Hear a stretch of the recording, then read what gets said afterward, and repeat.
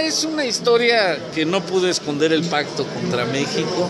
que tiene que ver con los actos de corrupción de la presidencia de la República, en concreto una investigación sobre el grupo IGA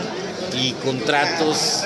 que beneficiaron a la empresa del señor Hinojosa y que están correlacionados con la Casa Blanca, que por cierto ayer se cumplieron meses que no dan información al respecto.